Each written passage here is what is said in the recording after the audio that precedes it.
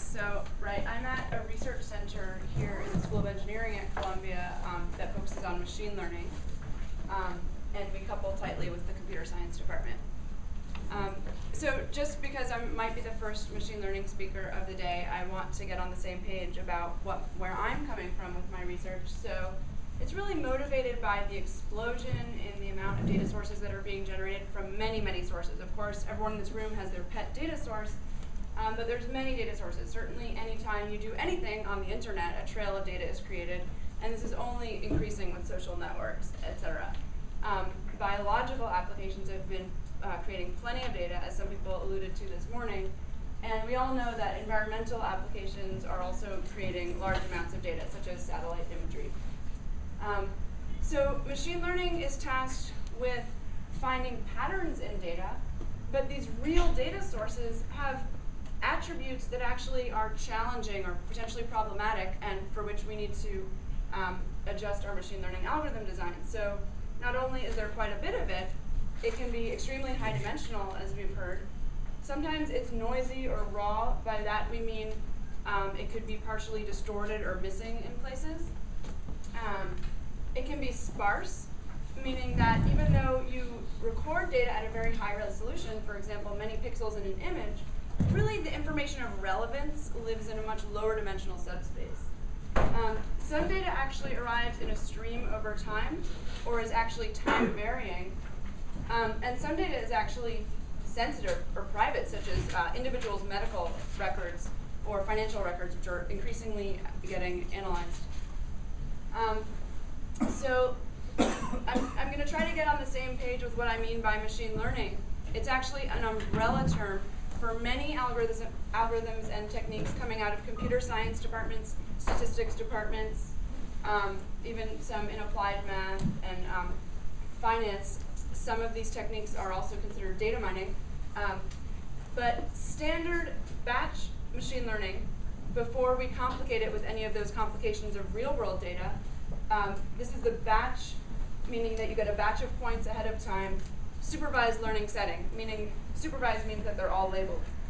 Um, you are given a set of labeled points, and you want to find a good classification rule that describes your previous data well and generalizes well to future unseen uh, data. So for example, if you were trying to fit linear classifiers, you might fit this one. Um, and this is very general. I usually motivate it with a medical application, so I'll just say that now. You could imagine saying, these are medical records of patients. Each point is a medical record where we've taken, say, 10 tests on a patient, such as hemoglobin level or other points. Let's assume they have real valued outputs. So these are points in 10 dimensional Euclidean space. And then this linear um, classifier that we fit is our current classification rule for the disease. So, so and, and say the labels uh, positive and negative are the diagnoses with respect to a particular disease.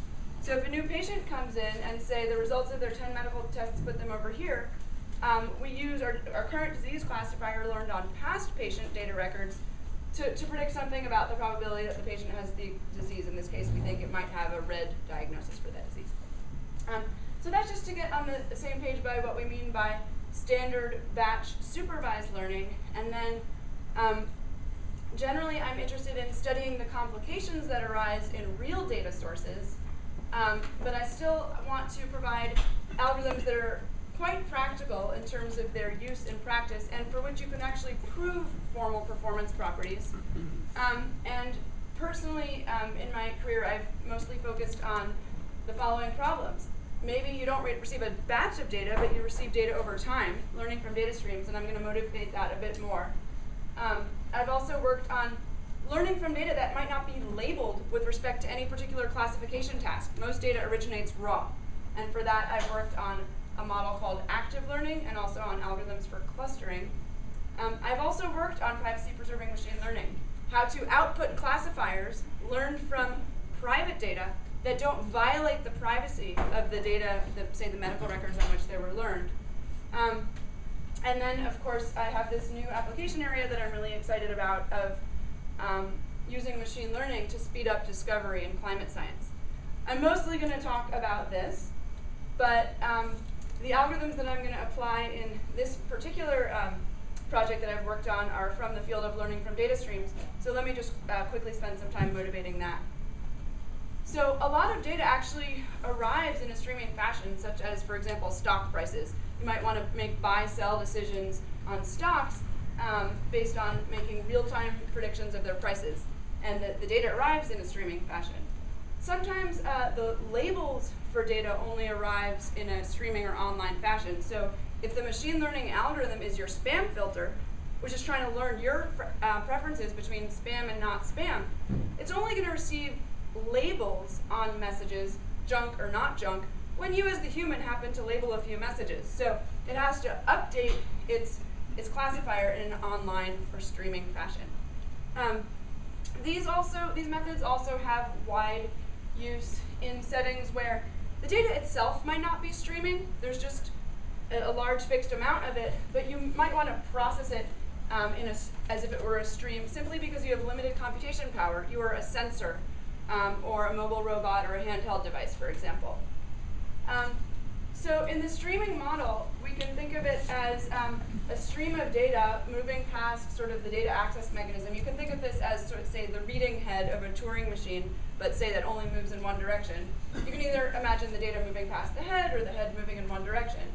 And so what I mean by that is that the data access mechanism is one at a time. So once a data point has been observed in the stream, you might not ever observe it again. And sometimes um, you also care about uh, being able to make real-time predictions. And this models some of the forecasting problems that I motivated. Um, so one thing you could do is take the existing literature on batch machine learning and simply wait around collecting data points in the stream until you have a large batch of them and uh, run standard machine learning on them. Um, but really, we want the form of the solution to match the problem, and so we often care about resource constraints on the learning algorithm. This will be a little bit less applicable in the climate application, but this is a motivation for why we care about lightweight algorithms in, uh, for learning from data streams. So in particular, any computation that your procedure does upon each new observation, the running time of that shouldn't grow with the number of observations since the beginning of time, and similarly, the memory usage. Um, so not only would this model resource constraints on, say, a small sensor that really has uh, very limited memory, um, but in general, we're designing algorithms. Algorithms are going to be run on computers, which by virtue of that are resource limited. Yes? Uh, are you doing parameter discovery also? So in a sense, are, uh, is the algorithm able to discover a new dimension which, which would help with classification or the number of parameters or types are given at the beginning by a human? So this is um, an entire field. Um, this was, many of the algorithms in my PhD thesis fell under these two constraints. So this is very high level there might be such an algorithm with, within the entire field of learning from data streams that does that. But I'm about to talk about a specific algorithm, and then I might be able to answer your question better. Or maybe that would be a better time to discuss that question. Okay, but thank you. Um, okay, and so, so in contrast to the model I put on the screen before, you get labeled data points one at a time, and you can adjust your classifier, but you, um, but you can't store all the data since the beginning. Of time. And this sort of characterizes a lot of uh, what I've worked on. And I'm going to talk specifically about supervised learning from infinite data streams in this application to tracking climate models in climate informatics. But I'm also, I mean, in case anyone gets interested in machine learning and wants to speak offline separately, I'm interested in the interface between learning from data streams and learning from raw unlabeled data. So I've worked on uh, learning from data streams in the active learning and clustering models. Um, so climate informatics is this new application area that I'm really excited about because there are many pressing or potentially open um, controversial questions in climate science um, that have the potential to really impact society. Um, and we know that machine learning can really revolutionize some of the other areas to which it's been applied. So here I, I have examples of some of the natural sciences, um, such as bi biology, which has really been um, a lot of um, new discoveries have come out of bioinformatics, which is a marriage of data mining and machine learning with biology. But also, I mean, a, a, a claimed success of machine learning is web search, right? So half the people in my field, if they don't go into academia, are at Google, Yahoo, and Microsoft. Um, so we know it works, or at least we know it works. We think it works. Um, and we would like to extend the benefit to climate science.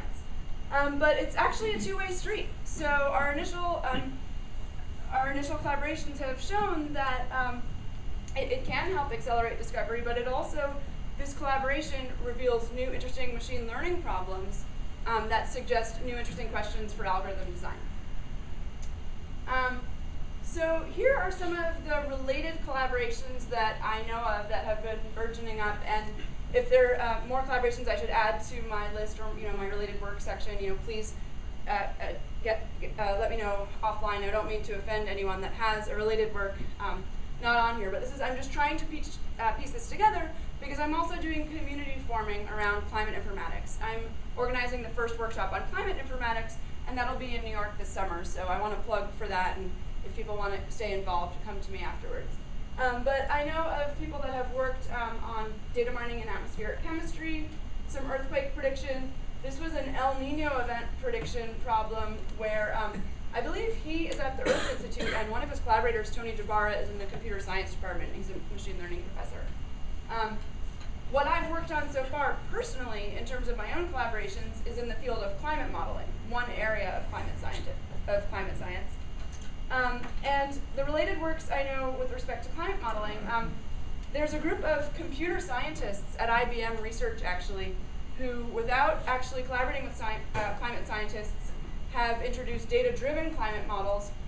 And so far they're not using them predictively, but they're using them for climate change attribution. So if you have a bunch of atmospheric gases, you know, which one was contributing most to rising temperatures.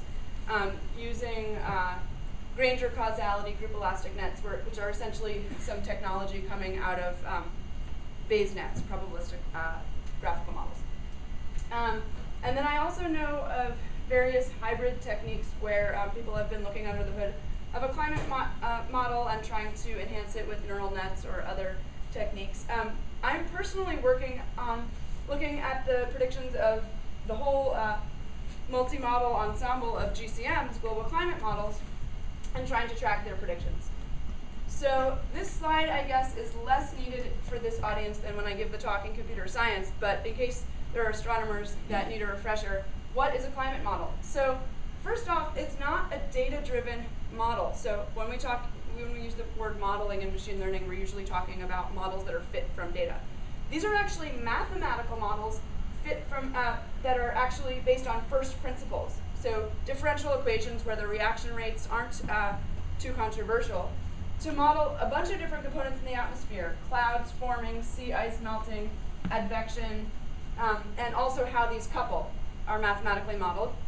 So you have a large system of interacting mathematical models for each of these components um, that are supposed to model the entire sort of atmosphere-ocean system, which is now discretized um, into grid boxes. And different climate models handle this discretization differently. Um, so you could have maybe a 100 kilometer cubed box, or maybe the vertical could be based on level sets of pressure. Um, these decisions have made, been made differently by different climate modeling groups. Um, and they actually have to address some interesting challenges, and the biggest one that I see is scale interactions. Um, because you know clouds are very important for climate, but to model clouds, you have to be looking at a very um, small geographical level to uh, really model raindrops condensing around atmospheric um, particles. Meanwhile, the ocean is enormous and circulates, you know, on the order of hundreds of years. So how you couple these is um, a real problem of differences in scale that is sometimes handled by discretizations or parameterizations. Um, but this is just to motivate why different climate models might differ. Um, here is some of here are some of the climate models that um, contribute to informing the IPCC, the Intergovernmental Panel on Climate Change. So each of these is a laboratory that's been around for around 30 years and had many scientists contributing to it. And each climate model is run as a really large software simulation of these mathematical models.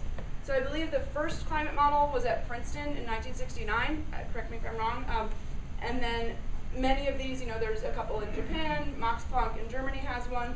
We have one at NASA here, actually in this building, um, at GISS. Um, but each of them is a lab with a long history where different meteorologists and scientists have contributed.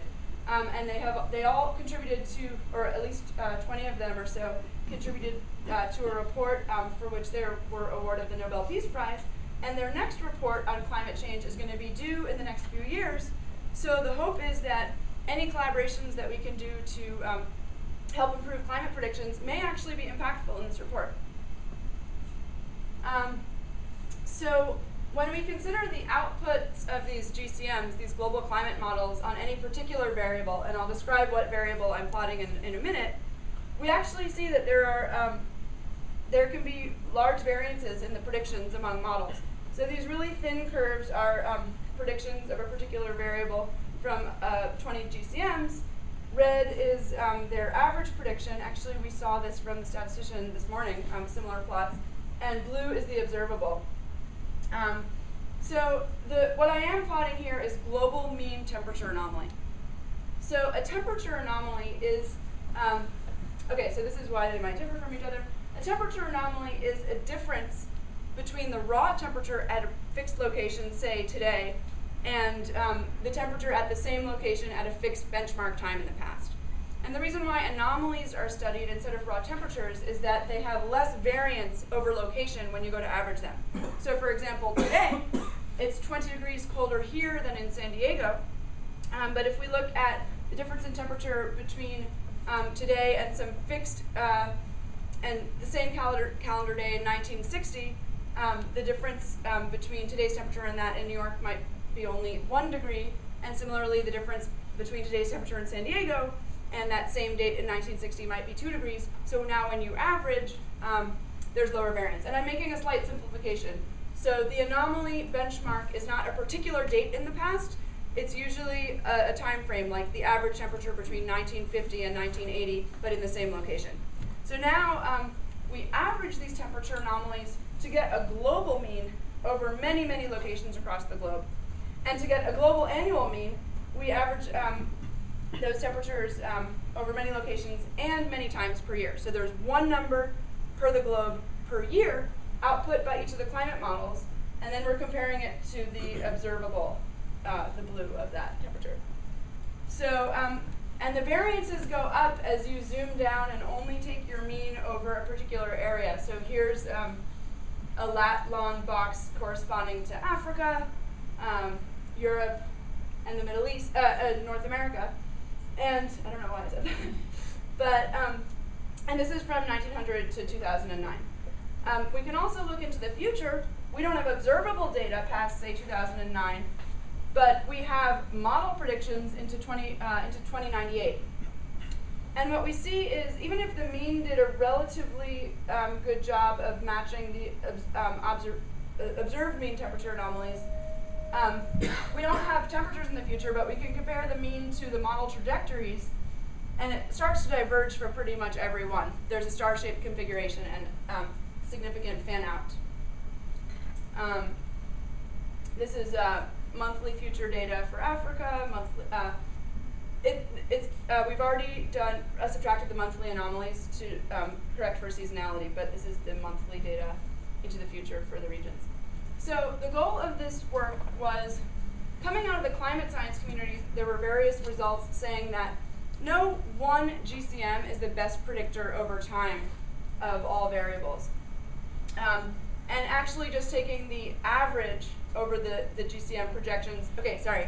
I've been using the word projection a lot. That's because I'm used to talking to computer scientists, but that should be corrected to projection for any climate scientists in the audience. I know that that's the proper term in your field.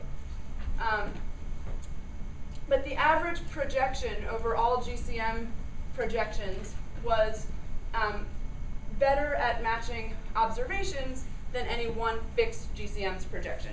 So that had been noticed, and it was the subject of a meeting on how to combine the multi-model ensemble of GCMs, um, of IPCC G GCMs, and we actually got to present some preliminary work there. But we were concerned with what could we do that would perform better than the average.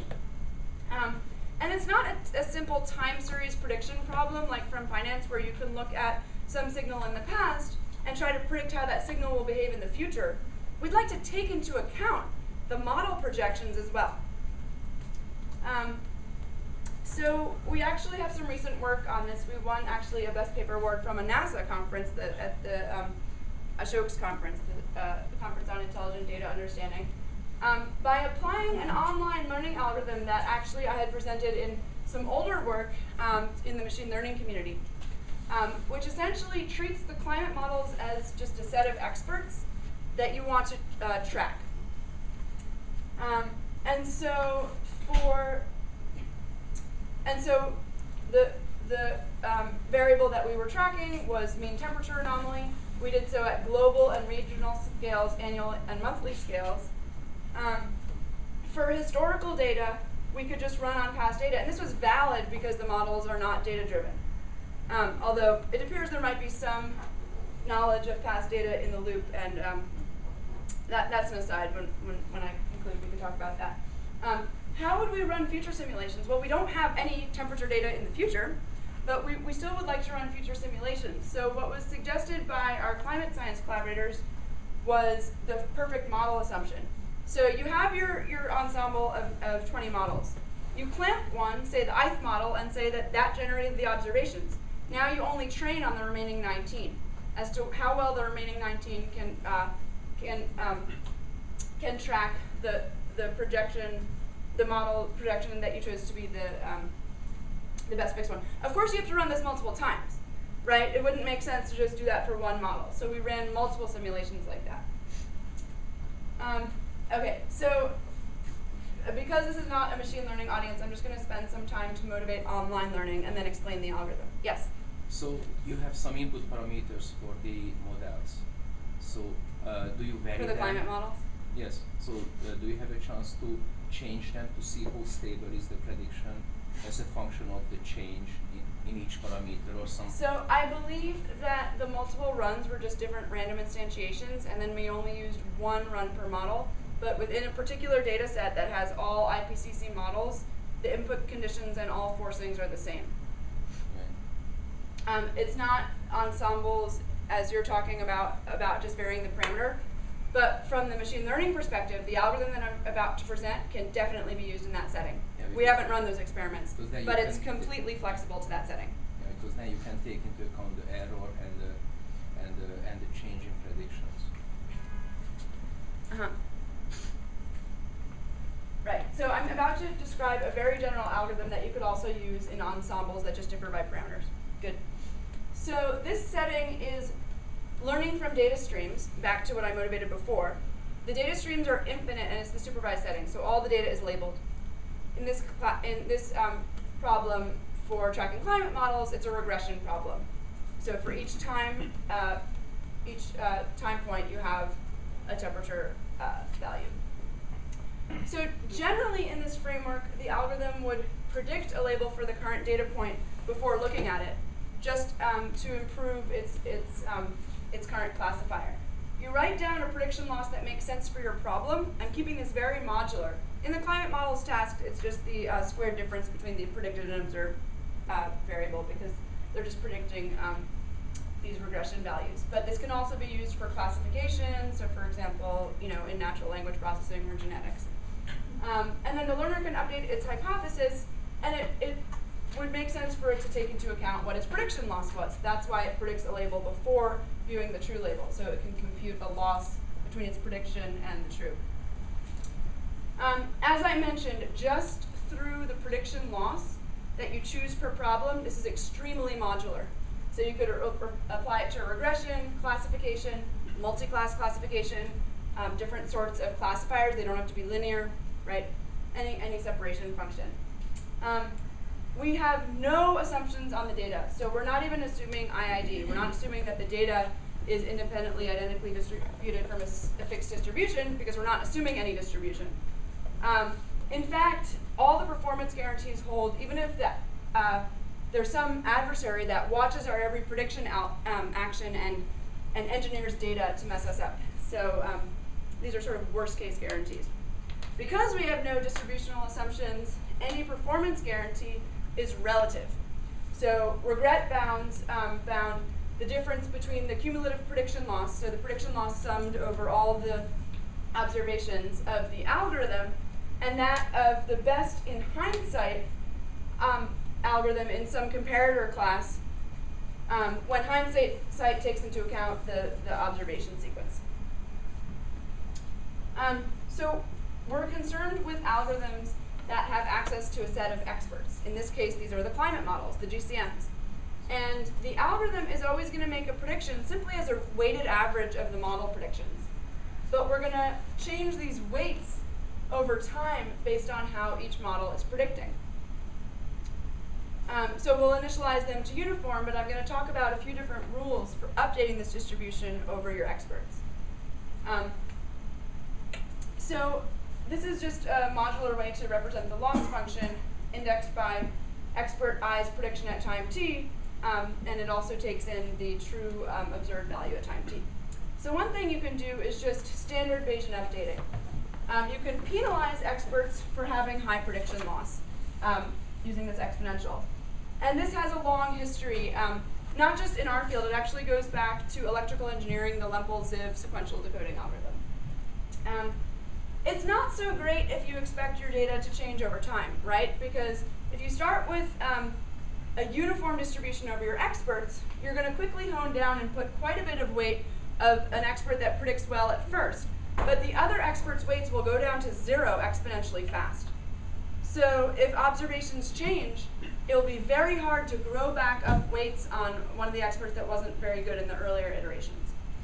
So now I'm going to talk about the same kind of scheme. I'm still making predictions as a weighted average um, over experts, but I'm going to add some uh, modeling of the time varying nature into my update rule for the weights over experts.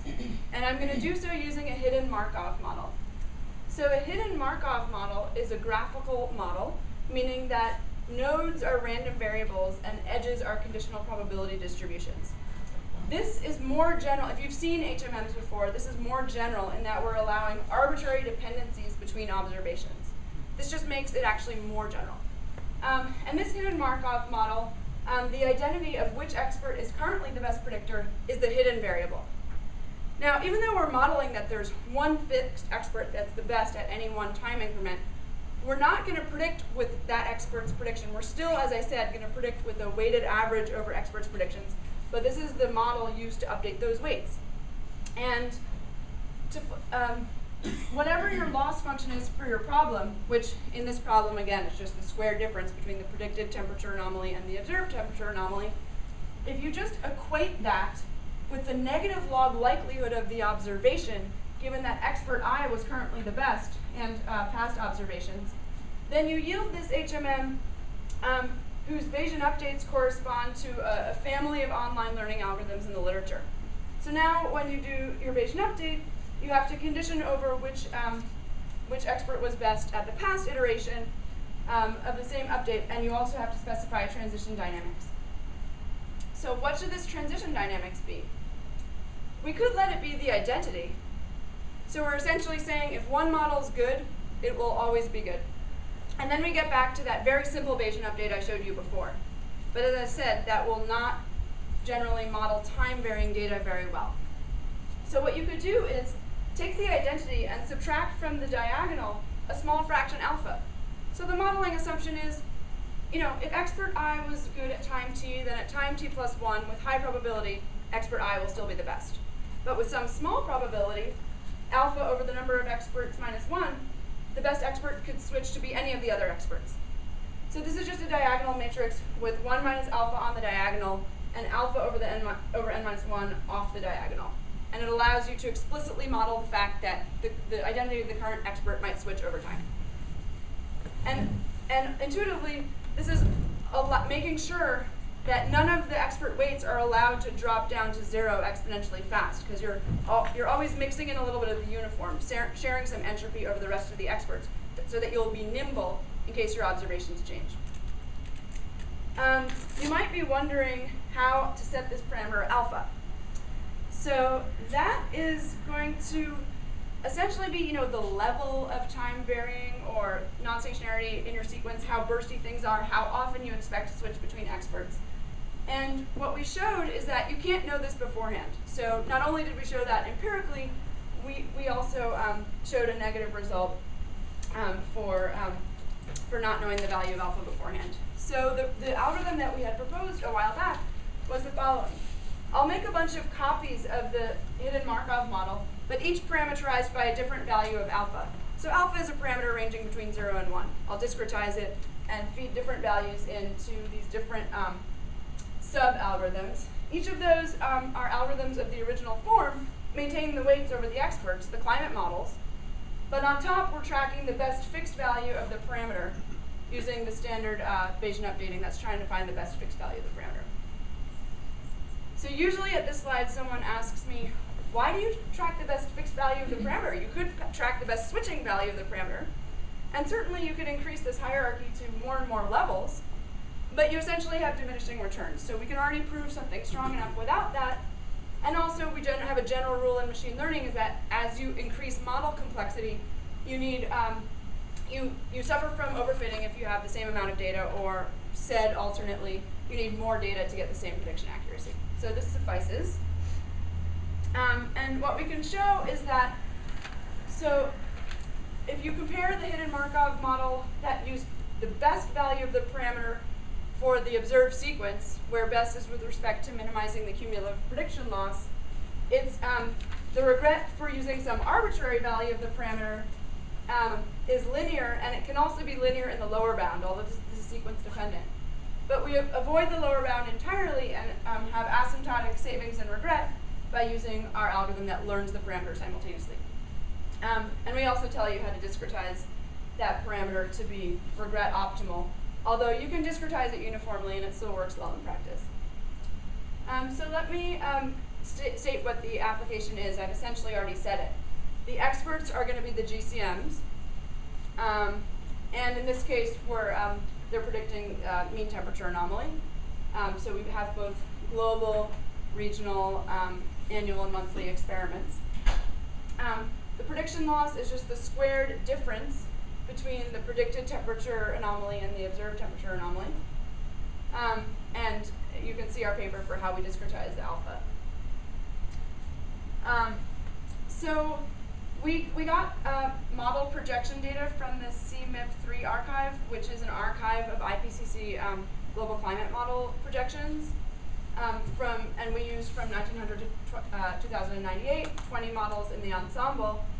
Um, to run the historical experiments, we got uh, global mean temperature anomaly data from GISTEMP.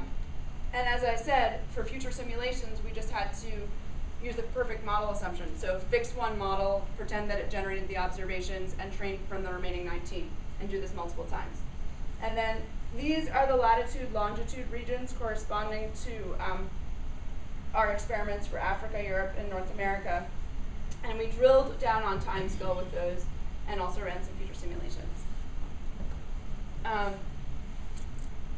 actually, let me first show a plot that I know Gavin likes this. So um, here's a qualitative uh, feeling for what's going on. This is a learning curve. Um, this is a future simulation, and um, this is blue is the identity of the worst of the remaining 19 models um, at predicting the, the model chosen to generate the labels. Here I zoom down on the y-axis. Red is the, the multi-model mean, the average over model predictions.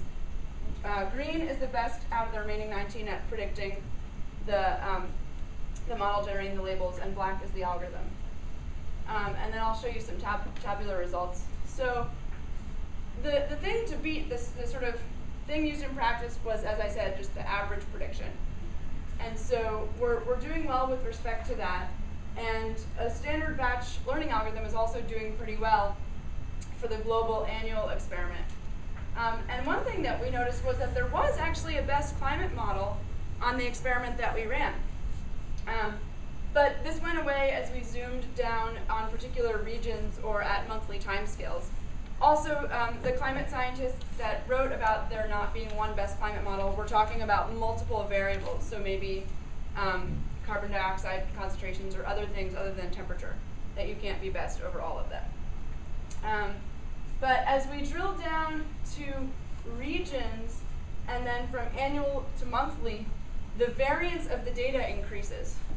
So regional data has more variance because it's not averaged over as many geographical regions. And monthly data, even when you account for seasonality, has more variance sim- simply because um, the annual data is already averaged over each of those 12 months. Um, and so you start seeing the advantage of our approach um, with respect to the average prediction and also with respect to uh, linear regression, which suggests that because the data is time varying, you don't want to necessarily take a, a batch approach because a batch approach doesn't focus more on the present than the past. Um, and oh, and yeah, here are some of the other curves that were summarized in those tables.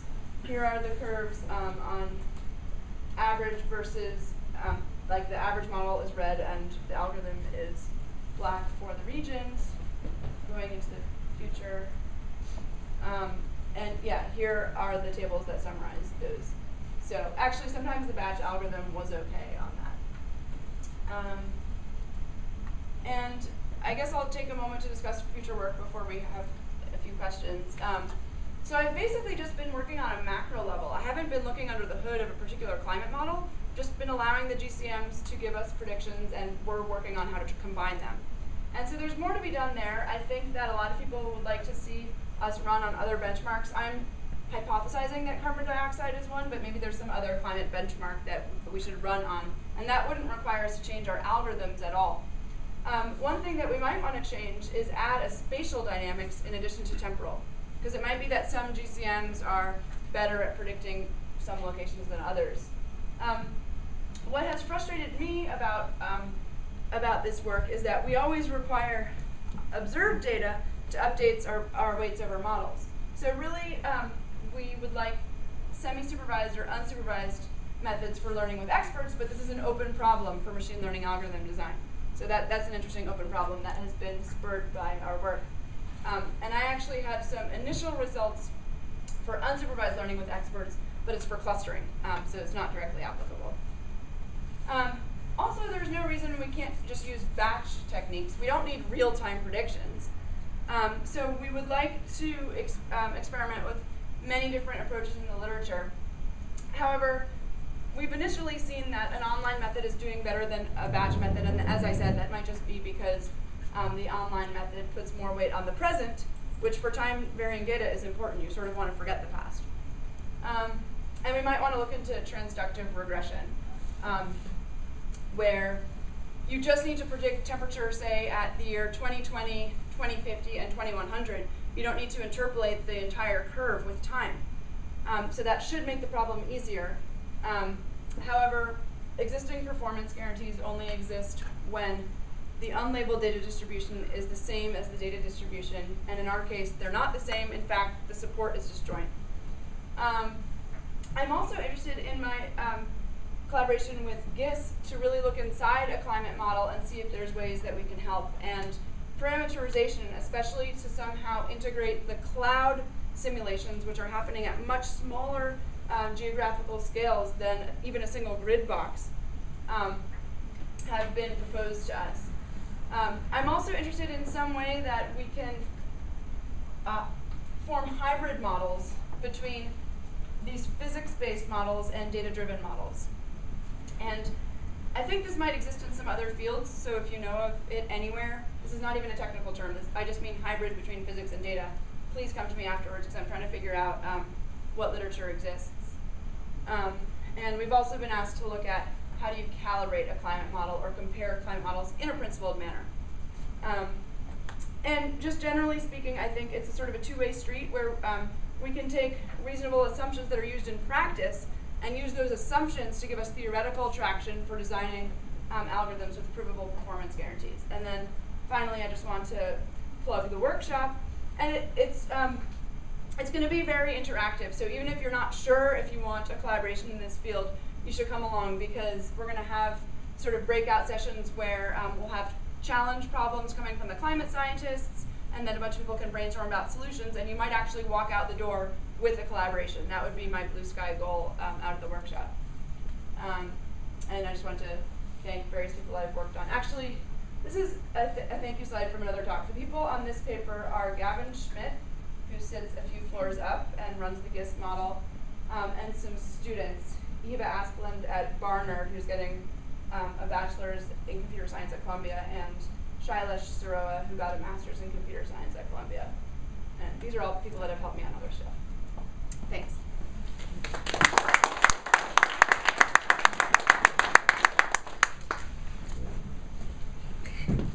So it's not entirely clear to me that the metric, I forget what terminology you uses, but uh, it, the, the thing you really want to be aiming for is the square and the difference between the prediction and, and you know what you're seeing. Is the model robust to different kinds of, of you know desirables? I don't know. Oh, totally. Yeah, that's called the prediction loss, and it can be instantiated in pretty much any way. So we would love domain experts to come in and tell us, oh, try it with this way, and then we'll show you that we track with respect to your loss, um, the models. But the loss can be anything. Yeah. Well, okay. Data. The loss can be anything for um, what you uh, use in practice. So for all the theoretical guarantees that I showed to hold, you just need to show. Um, uh, you just need to prove a small property. Well, I can t- talk to you offline, but if you want all the bounds to hold, so you take the pair of your prediction function Mhm. and your loss, Yeah. and you prove um, essentially an upper bound with respect to um, using the log loss, so negative log likelihood as your loss function. And if you can get that to hold, and it doesn't have to hold tightly, it's just a bound, um, then all the theory goes through for free. And many classes of loss functions have been studied so far.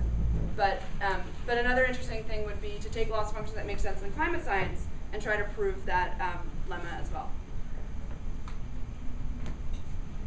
Next question. I just want to say two things. One is that uh, I don't know if you know about this climate prediction.net experiment, where they have this multimodal ensemble that is run from I think 1980 to 2080.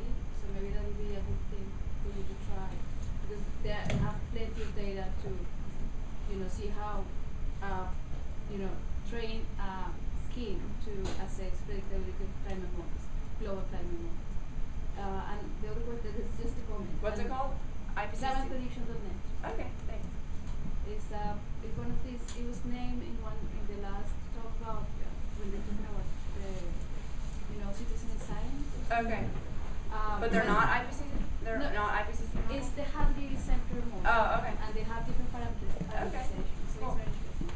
And the other thing is that have you compared this with the methodologies of ignorance skill or Brier skill for predictability of log climate models? It's No, like- I don't know what that is, so, So it's I should maybe try to seen find up out. the- like a, a loss function, but it's just the ignorance. Yeah, I'd love to find out about new skill functions or loss functions, so maybe I'll write that down afterwards. Talk to you. Thanks. Okay, um, I'm just curious, what's the criteria of choosing, uh, the model out of the twenty models as an observation? Is it just the best? Oh, we just ran for a bunch of, like, um, ideally you wanna do it for all twenty. We ran ten, um, but the ones that we reported were the best on the past data, the worst on the past data, and two that discretize the range in between. And it can change also, I would imagine that you choose one at a time and the next time could be another one. I don't know. I don't know what you mean by time. So in a particular experiment, it will be one model projection that is treated as the observation the whole time. And there's no real way to choose these. So all we did was we looked at the one that had the best performance on the past data as one simulation that we ran. We also ran with the, the model that had the best, um, the worst performance in the past data, and then also two in between, but that's arbitrary. But we ran actually on ten different ones. Yeah. Um, what would happen if you were to, let's say, take, uh, fifty copies of Model One and, and add it in the calculation and now run it with those seventy models? Would, would Model One kind of swamp things or does it some, would it somehow be able to? No, if it's not recognize that it's performing well, it won't affect things hardly at all. You can do that. Actually, this is a great way to um, quell debate. Say a bunch of you and your colleagues are arguing about which model is the best or which algorithm is the best. Throw them into some kind of ensemble method like this, and it doesn't matter. The algorithm will track the best. So um, it's, it's very modular. Um, yeah, so you could do that. You could have that one model You could have ten models where five of them are just copies of one model running with different parameters, for example. Yeah. Next to the last slide, you had uh, something about hy- hybrid models. Yeah. Uh, is this, are you talking about data assimilation or something different? Well, um, I think that's one of the places that it's been showing up. Um, essentially, it was just a realization that we're not going to be able to talk to climate scientists if we try to replace physics-based models with data-driven models, and you know, I don't want to do that. and physics-based models have a certain level of predictability just because of physical laws having some inertia and smoothness that should make the prediction problem easier than a lot of machine learning problems. So I'm now trying to search the literature, and one thing I've heard of is right the ensemble Kalman filter, the field of data uh, assimilation, and this could be widely applicable, for example, to say robotics, fluid dynamics, other fields. But first, I don't want to reinvent the wheel, and I want to find out what's out there. But yeah, in the past week or so, I've been hearing data assimil- assimilation, so I need to look into that. Okay, we have to move on. Okay, thanks.